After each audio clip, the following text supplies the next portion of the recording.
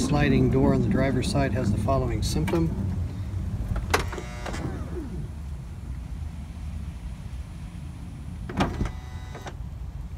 Okay, so notice what it's doing. It's pulling the door shut. I'll just reverse it here. It pulls it too far in, strains and releases.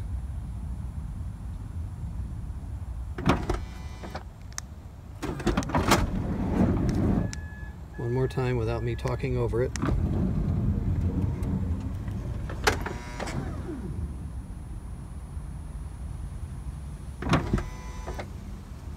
Then if you try to drive the vehicle after it does this, the uh, side door warning will beep continuously as if you have left the door open, but you haven't.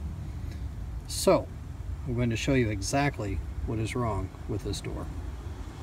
At the rear of the door, we are going to remove these three screws because the whole assembly inside the door needs to be removed and lubricated.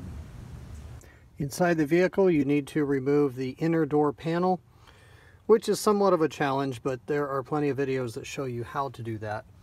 At the rear of the door with it slightly cracked you're going to see uh, this screw here, this screw here.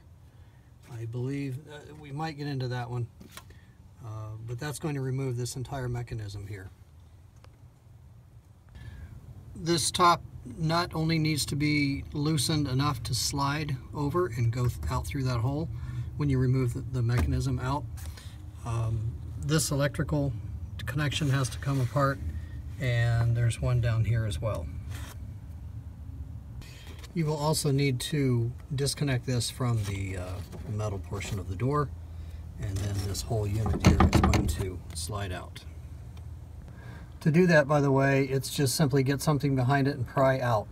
There are two tabs that uh, pretty much give way when you pry it straight out. I'm going to do the same with this, so this cable leading down to the mechanism is free to come out with it. It helps tremendously to get this plastic panel popped behind the, uh, the metal lip for the opening there. I told you it was not necessary to remove this bolt, but in fact it's going to be much easier if you just do pull it out. I also uh, was questioning whether this one had to come out, and I believe it does, so I'm taking it out as well. Okay, so I've been uh, wrestling this a little bit. I have rotated it counterclockwise, and I believe that's what's going to help it come out. Okay, I finally have it out. Rotating it counterclockwise did help and also I had to maneuver it past a bracket for the back side of the window. It's the window track. So it's, it's where the window track mounts at the base. And I'll put this inside there so you can see what that bracket looks like. Okay, that is the window track bracket and I had to uh, just move it around slightly to get this mechanism out. The back side of this mechanism has a large plastic cover. Uh, it looks like just a couple of screws and we'll have that off. Once you do that, the entire plastic cover rotates up. There's some tape holding it on and we have the entire mechanism visible. There are all kinds of parts that move in here and every single one of them has evidence of lubrication on it, uh, some type of grease. I'll be using some white lithium grease that's made for metal to metal connections. Um, I believe the problem is in this portion here where when that is pushed this has uh, some movement and when this is released the other way it snaps back. Those just seem a little gummy to me. So I'll be spraying some white lithium grease in there and making sure they're all freed up and work the way they are supposed to. Okay, I have some cardboard down to uh, protect the van. And again, I'm going to spray some white lithium grease. Uh, I'm trying not to make a mess, but it does need some lube.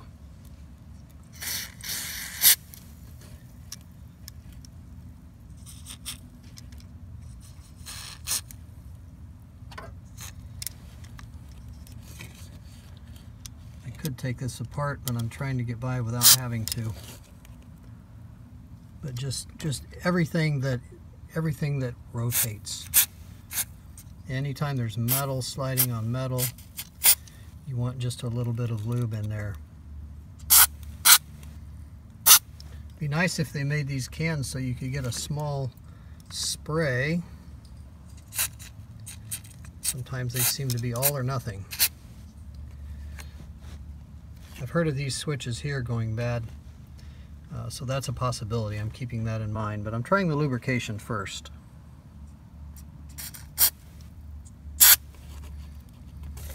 Okay, so I'll get as many more pieces uh, lubricated as I can and then we'll put it back together and see what happens. There are many parts that become accessible as soon as you rotate something so uh, be sure and turn it all around different directions and move things and you will suddenly see more springs and uh, pivot points that need lubrication. Even looking at the backside exposes some some pivot points like down in here you can shoot some uh, lubricant and it will go between the two metal plates. One of the things I'm hoping to solve is just that the car will know that the door is actually shut. So my theory is this pin is probably the locking pin. Um, when it's pushed over, watch what happens up here and the blue switch is activated. See, so if that is gummed up and it's not making contact with the switch, the car is not sensing that the door is closed. So that's my theory anyway. We'll see what happens. The same thing is true over here, so that's why I am lubing everything. I will give you a piece of advice. There is a metal bracket on the bottom of the power window track. And if you bump that too much, it's going to fall off down inside your door and you need something with a magnet to get it out because I couldn't reach it with my bare hands. So beware, this bracket does separate. It took me a while to wrestle this back in and the secret to the puzzle is you have to get the uh, black bracket in first, the, the plastic bracket that goes in facing towards the front of the van. And uh, the whole mechanism can then be dropped in um, in this position and just simply goes in and down and in. Okay, here's another hint.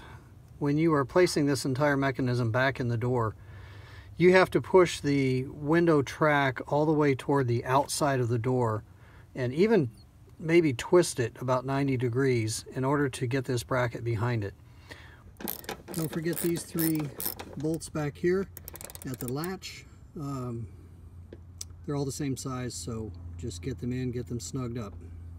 One great tip I got from Eric the car guy is to use one quarter inch tools and uh, even grip it close to the head of the ratchet because it is very easy to over torque these and strip them right out. So if you're doing this, you're going to feel them get tight. It's going to take some muscle to get them snugged up, but you're not going to overdo it and strip them out. One thing you want to be absolutely sure you check before you go to the trouble of putting this entire door panel back together is that the window goes down and there's no binding or anything, uh, which would indicate the track is not in its correct position. So there's our window, goes down just like it should. Now I'm confident about putting that back together. You know, something that you might as well do while you have the door panel off, um, such a rare opportunity, spray silicone on a paper towel reach all the way up into the window track, the part you can never reach because it's inside the door, and put the paper towel in the track, run it up and down, get that, um, that whole track uh, full of silicone, and your windows will go up and down like they were brand new. Okay, I'm ready for the first test.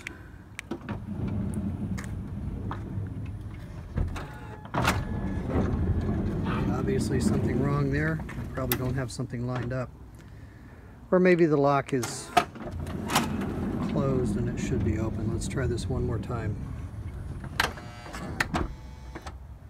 That works. Here we go again. Notice it is not over pulling the door and then releasing it later. It's going right where it should be and then stopping as it should. So it's just a simple fact that this mechanism is coming up on 14 years old. The original lube from the factory is gummed up and it just needs more lube. So this will actually cost you nothing but an hour or two of your time in the driveway. So I hope that helps. Good luck with yours.